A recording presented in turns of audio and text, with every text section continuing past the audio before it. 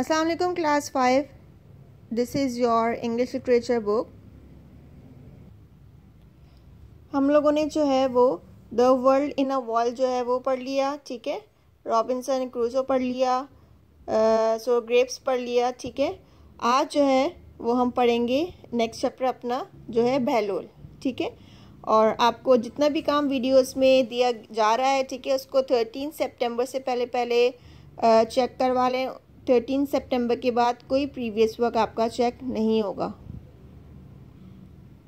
आ जाते हैं अपने चैप्टर की तरफ़, ठीक है? बेलोल बेलोल यहाँ पे जो है वो कुक है, ठीक है? सर्वेंट है स्टोरी में और ये स्टोरी जो है वो मिसकॉन्सेप्शन के ऊपर बेस्ड है मतलब गलत फहमी हो गई है स्टोरी में, ठीक है? और इसमें एक कुक है और एक लेडी है, ठीक है?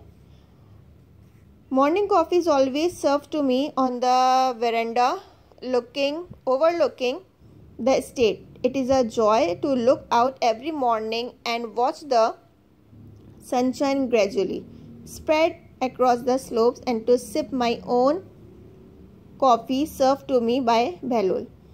यहाँ पे जो एक लेडी है जिन्होंने ये जो ये अपनी स्टोरी बता रही हैं ठीक है तो वो कह रही हैं कि मॉर्निंग कॉफ़ी हमेशा जो है वो मुझे सर्व होती है मेरे बरामदे में ठीक है सहन में मेरे जहाँ पे जो है वो सूरज की रोशनी जो है, ये मुझे मतलब बहुत अच्छा लग रहा होता है कि हर सुबह जो है वो सूरज की रोशनी जो है वो आ रही होती है और मैं गर्मा गर्म जो है वो कॉफ़ी पी रही होती जो कि मुझे मेरा सर्वेंट जो है वो बेलोल जो है वो सर्व करता है।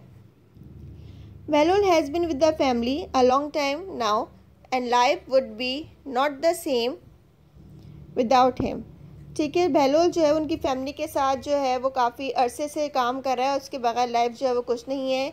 He came to work for the family when I was a teenager वो हमारी फैमिली के पास काम करने के लिए उस वक्त आया था जब मैं टीनेजर थी। He does not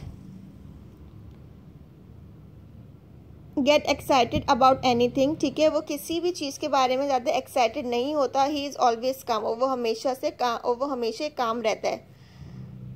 he seldom smiles और शोज़ हिज फीलिंग्स ठीक है? वो कभी कभार जो है वो मुस्कराता भी है, हंसता भी है, ठीक है? And he is a wonderful cook और वो बहुत अच्छा कुक है। ये तो बहलोल का इंट्रोडक्शन हो गया। Let me tell you about the only occasion when I was angry at him अब मैं आपको वो एक ओकेजन एक वो वाक्य बताती हूँ जब मैं उसके ऊपर बहुत ज़्यादा गुस्सा हुई। Late one afternoon the area councillor and his wife call to see me एक दिन दोपहर के वक्त हमारे जो एरिया के जो काउंसलर थे और उनकी वाइफ जो थी वो हमसे मुझसे मिलने के लिए घर पर आई। They made no sign of wanting to leave but sat and talk as the dust turn into night उनके जाने के का वो काफ़ी देर तक बैठी रही उनके जाने के कोई आसार नहीं दिख रहे थे दिख रहे थे ठीक है? और जो है वो वो लोग बातें बातों में इतना आ, मशगूल हो गए कि जो है वो उनका शाम कब हो गई और शाम जो है वो कब रात में बदल गई, पता नहीं लगा। I thought I had better offer them some supper मैंने सोचा कि मैं उनको जो है कुछ खाना ऑफ़र कर दूँ। सफ़र कहते हैं खाने को। But I doubted whether we had anything suitable in the pantry I excuse myself and went into the kitchen मैंने सोचा कि मैं उनको कुछ खाना ऑफ़र कर दूँ लेकिन मुझे डाउट हुआ कि क्या हमारी पेंट्री में जो है वो कुछ खाने के लिए है। अच्छा पेंट्री कहते हैं आ, ऐसी जगह को जहाँ पे हम लोग फ़ूड वगैरह स्टोर करते हैं। खाना वगैरह हम जमा करके रखते हैं जैसे आप किचन कैबिनेट्स हो गए ठीक है? तो मैंने अपने गैस से एक्सक्यूज़ किया और फिर मैं किचन में चली गई। Bahlol I said what do we have for supper मैंने बहलोल से कहा कि हमारे पास खाने के लिए क्या है? Left over food from lunch madam he replied उसने कहा तो दोपहर में जो हमारा लंच बच गया था, जो लंच हमारा बच गया था, दोपहर का खाना जो हमारा बच गया था, वही है रात के लिए। And then explain further tomorrow is market day no food in the house today madam तो उसने फिर आगे और बताया कि कल जो है वो मार्केट डे है तो इसलिए आज घर में कुछ भी खाने का नहीं है। What are we going to give the guest I ask मैंने उससे पूछा कि अब हम मेहमानों को क्या खिलाएँगे? Bahlul stared at me blankly तो उसने बिल्कुल ब्लैंक होके घूरा मुझे। In the pantry cupboard I found an old tin without a label अब मैंने फिर पेंट्री कबर्ड अपने कैबिनेट में किचन कैबिनेट में मैंने एक टेन देखा, एक पुराना सा टेन देखा जिस पर कुछ लिखा हुआ नहीं था। What is this Bahlol Bahlol I asked मैंने बहलोल से कहा, बहलोल, ये क्या है?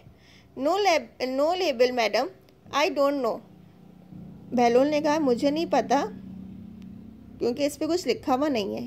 Came the brief reply open it and see we shall have it for supper but give some to the chickens first if they are all right, then we shall know the food has not gone bad. तो जब उसने कहा कि मुझे नहीं पता, इस पर कोई लेबल नहीं है तो मैंने बहलोल से कहा कि इसको खोलो और देखो, ठीक है? फिर और फिर ये इसमें से थोड़ा सा फ़ूड जो है हो सकता है कि हम लोग इसको फ़ूड के अपने खाने में, रात के खाने में यूज़ कर सकें। लेकिन हमें देने से पहले तुम जो ये ये फ़ूड जो चिकन्स को देना। अगर जो है वो चिकन सही रहती हैं तो इसका मतलब है कि फ़ूड ख़राब नहीं हुआ है।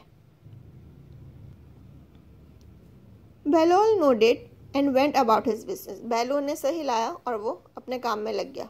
Remember to tell me immediately if anything happens to the chickens I said and return to entertain my guest मैंने कहा कि तुम मुझे फ़ौरन आके बताना अगर चिकन्स को कुछ भी होता है तो तुम मुझे फ़ौरन आके बताओगी और फिर मैं अपने गेस्ट के पास वापस चली गई The counselor and his wife were looking out over the plantation.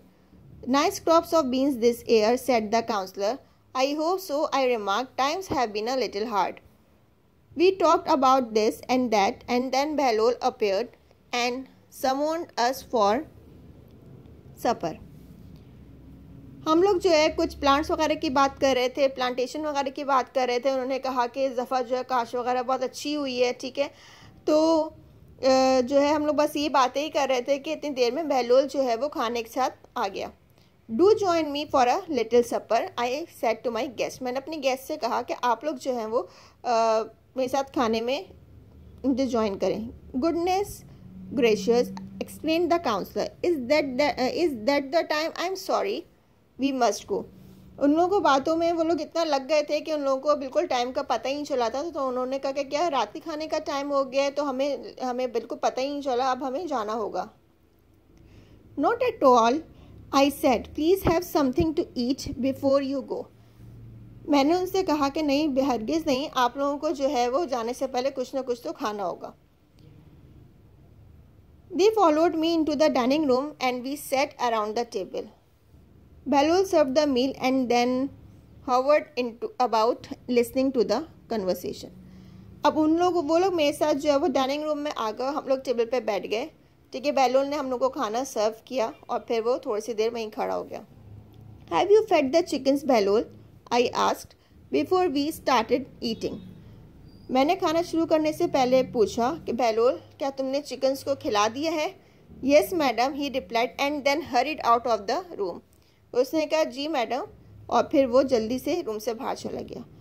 He is gone to see if the chickens are still alive I thought to myself and tucked into the food मैंने अपने आप मतलब मैंने खुद से ही सोचा कि हो सकता है कि वो चिकन्स को देखने के लिए गया क्या वो ज़िंदा हैं और फिर मैं जो है वो खाने के लिए खाना खाने लग गई। We were having a pleasant chat after after our meal और फिर हमने खाना खाने के बाद ही बहुत अच्छी गुफ्तु करी। When Bahlol burst into the room जब बहलोल जो है वो कमरे में दाखिल हुआ, हम लोग उस वक्त भी बहुत अच्छी गुफ्तु कर रहे थे खाना खाने के बाद। Madam madam the chickens wailed Bahlol Bahlol जो है वो कहने लगा madam madam the chickens. What's the matter what about the chickens क्या हुआ? क्या मसला हो गया? क्या हुआ चिकन्स को? I said with some alarm I look at the empty plates and stood up, glancing nervously at my guest मैंने पूछा बहुत नर्वस होके कि क्या हुआ क्या हुआ चिकन्स को? जब फिर मैंने एम्प्टी प्लेट्स देखी और फिर मैं एकदम से खड़ी हो गई और नर्वस होकर अपने गेस्ट की तरफ़ देखने लगी। They are dead madam cried the cook wringing his hands cook जो है वो होने लगा कि वो मर गई हैं। Dead what all of them I asked दूसरे का डेड क्या हो गया? डेड क्या सारी की सारी? All of them dead madam sobbed Bahlol and hurriedly and hurried out of the room उसने कहा कि सारी के सारी मर गई हैं। बहलोल ने उदास से कहा और फिर वो कमरे से बाहर चला गया।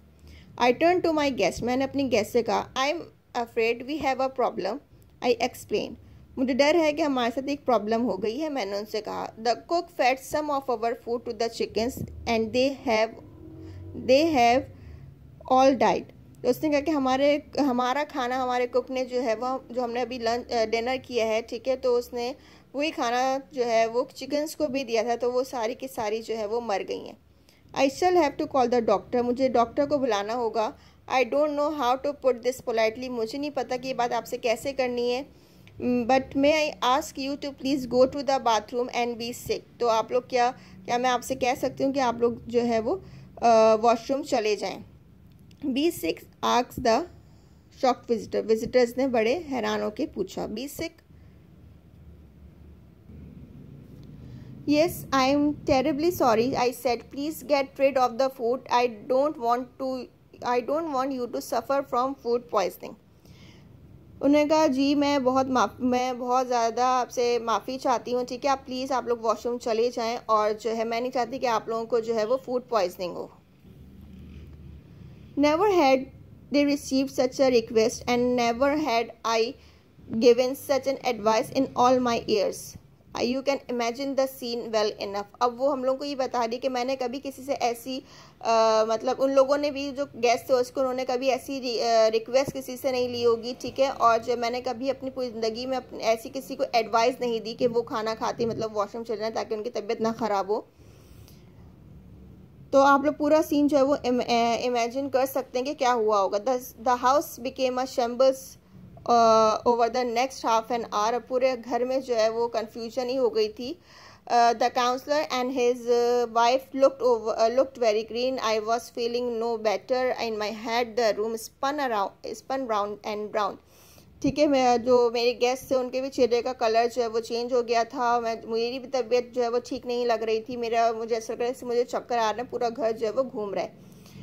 Exhausted we collapsed into comfortable chairs in the sitting room. We sat wrapped in blankets by the fire, looking into the flames and trying not to think about what had happen ठीक है भाई हम लोग जो है वो अपने chairs में कंफर्टेबल चेयर्स में जाके जो है बैठ गए फायर के पास ठीक है और फिर हम लोगों ने मतलब डिसाइड किया कि हम लोग जो भी कुछ हुआ हम लोग उसके बारे में नहीं सोचेंगे। I rose and went to check on Bahlol फिर मैं खड़ी हुई और फिर मैंने जाके बहलोल को देखा। The poor man had look so upset वो बेचारा गरीब बहुत अपसेट दिख रहा था। I found Bahlol sitting on the back door step his head in his hand gently rocking to and fro and whimpering softly ठीक है, फिर मैंने जाके देखा कि बहलोल जो है वो दरवाजे में बैठा हुआ है और उसने अपना सर जो है वो पकड़ा हुआ है। ठीक है? आप लोग यहाँ पे पिक्चर में भी देख सकते हैं। ये लेडी हैं बहलोल हैं, ठीक है? और वो यहाँ पे इस तरह बैठा हुआ है, अपना सर उसने ऐसे पकड़ा हुआ है।